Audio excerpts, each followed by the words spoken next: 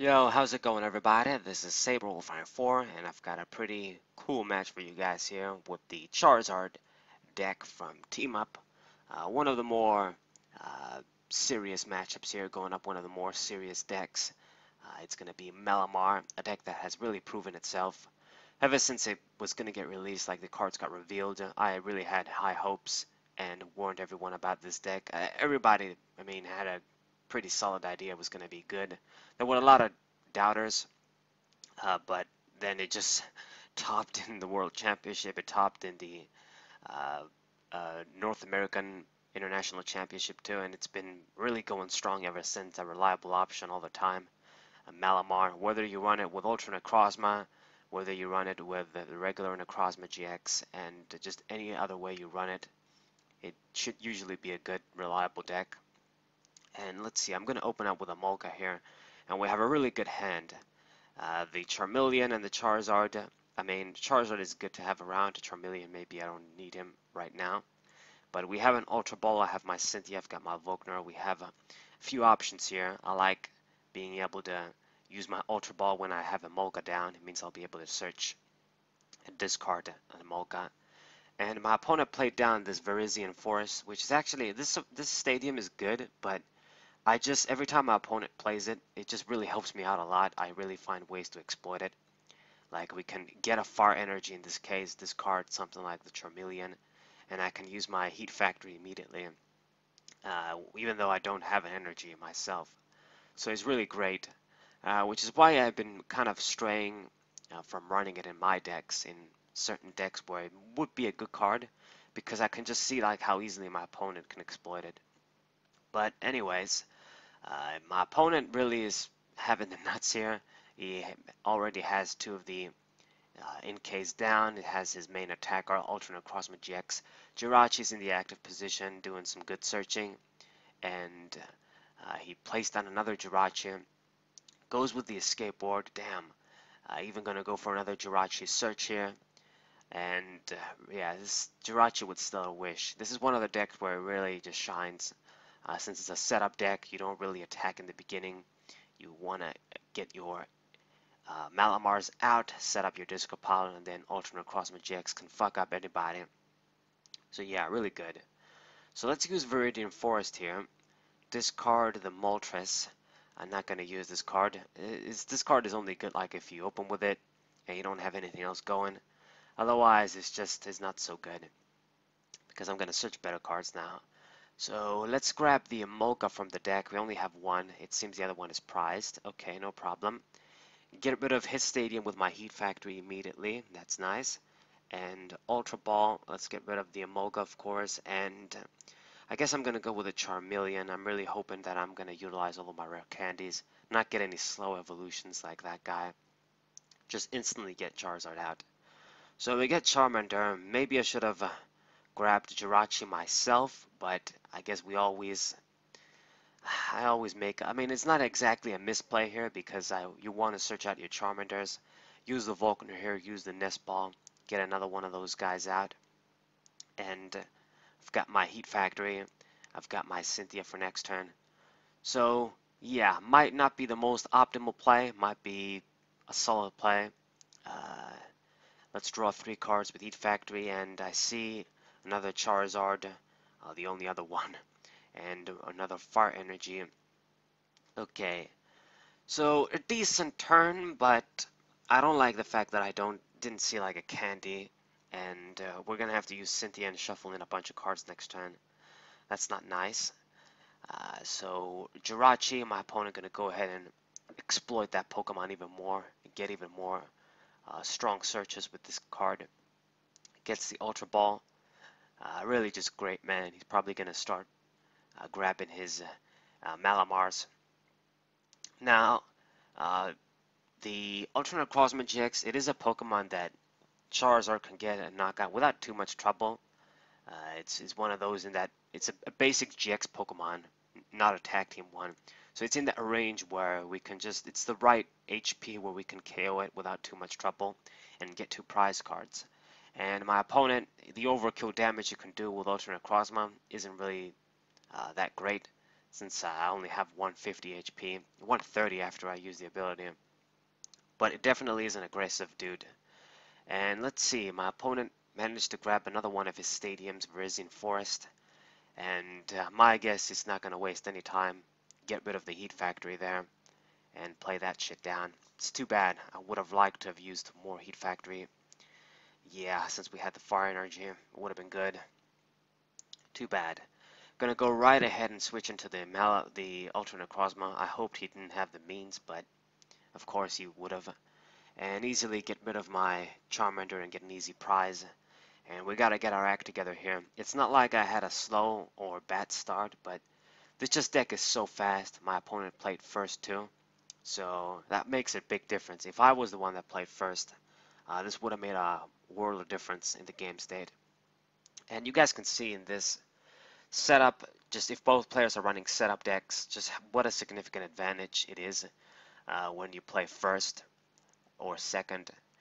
I mean, it, it's the reason why I think that the old rules were better in many ways. The old rare candy errata, the old rare candy effect, what I meant to say. Just better. Uh, but oh well, so I can't really do much here. Cynthia gave me a few cards, but not exactly what I needed once again. And we'll be forced to pass here. There's not much I can do. I could just play like the stretcher and get like a Charmeleon, but it's it's really is a waste. Uh, you want to save those for Charizards or maybe like an emergency Charmander or whatever. So yeah, a passive turn, kind of unfortunate. I don't want to give my opponent this lead because it really is going to lead to my demise, me losing the game.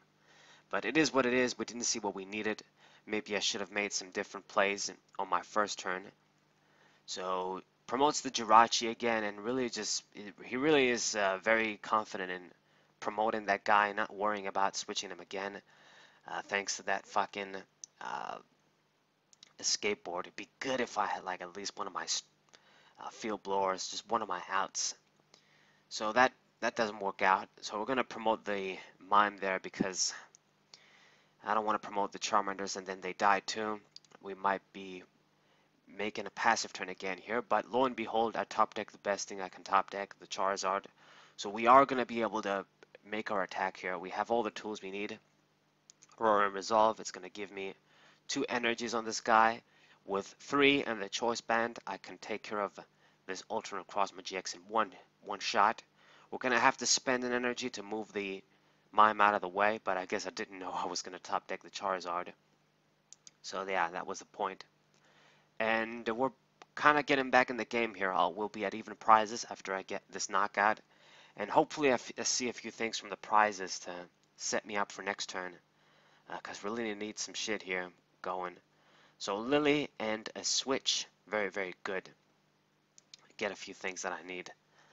So my hope here is that my opponent is gonna find it difficult to get another attacker, but I mean, when you have these two Jirachis down with the fucking escape board there unhindered, like not really using my field blowers to get rid of that shit, and just just letting him do whatever the hell he wants, uh, he's just too too much major advantage for him.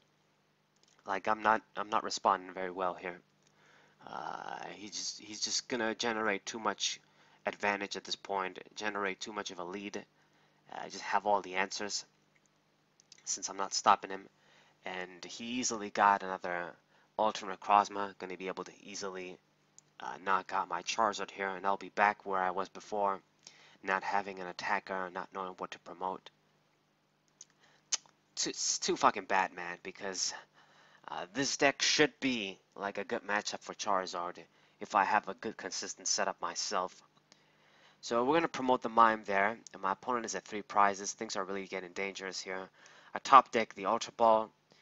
I mean, it would have been good, I guess, if I had like, a, I don't know, like a candy. But what are we going to do here? Uh, damn it. It's, it's kind of rough. So no choice. I'm gonna I'm gonna discard the um, uh, Ultra Ball there with the uh, use his stadium to get a fire energy. I guess we're gonna need that anyway, and just make this play so that I can draw a few cards with Lillie here and hopefully we get lucky. Uh, there's not much else I can hope to. And unfortunately we don't. We do not. Damn.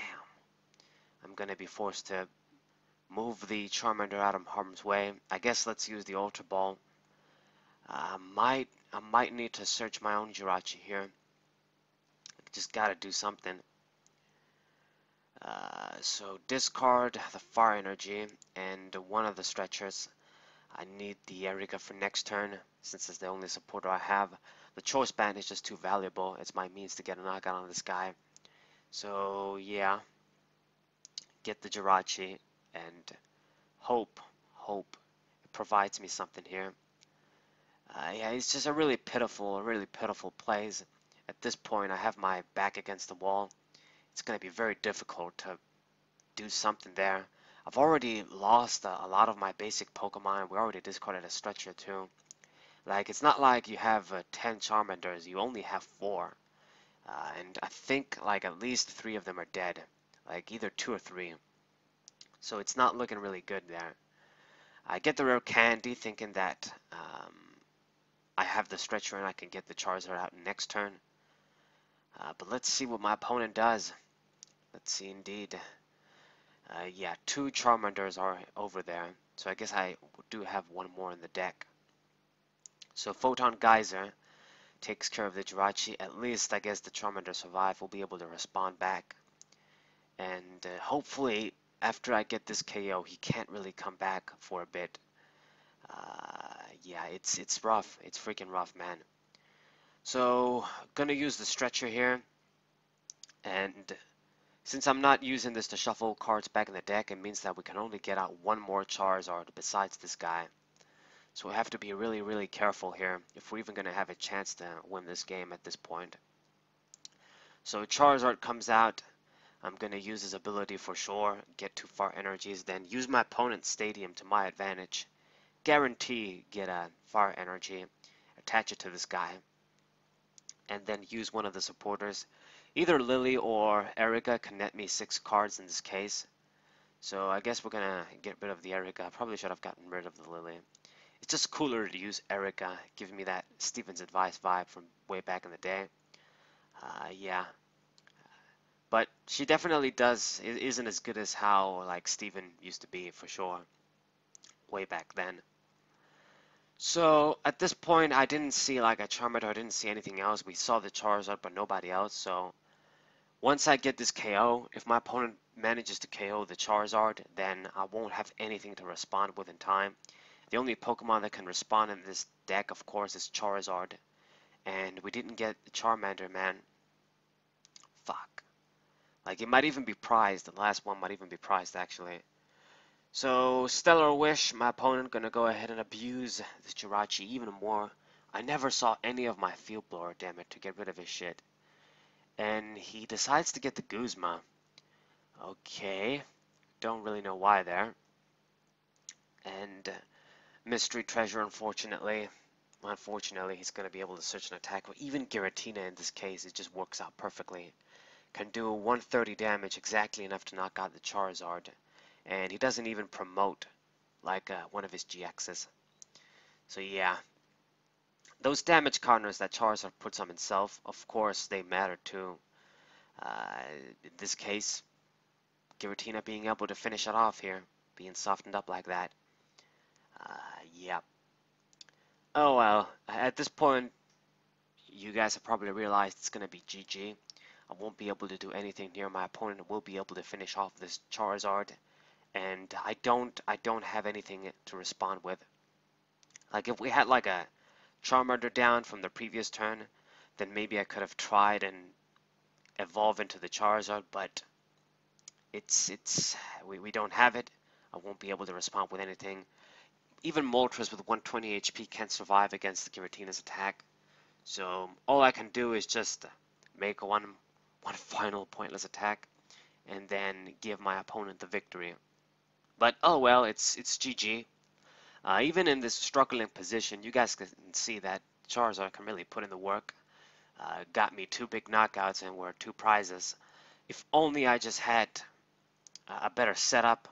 Uh, we responded uh, better every turn, and maybe I had like field blowers to mess up his Jirachi's plays a little bit. Just do something. Then it would have made a big difference. And playing first would have made a very big difference too. Uh, definitely. That was very significant. But either way, GG. Hope you guys enjoyed this match. Hope you guys uh, subscribe and leave a like and share this video with your friends that want to see some Charizard matches from Team Up. Uh, really, really good. Stage 2. And I'll see you guys on the next video. Thank you guys for watching. Sabre 4 West Side.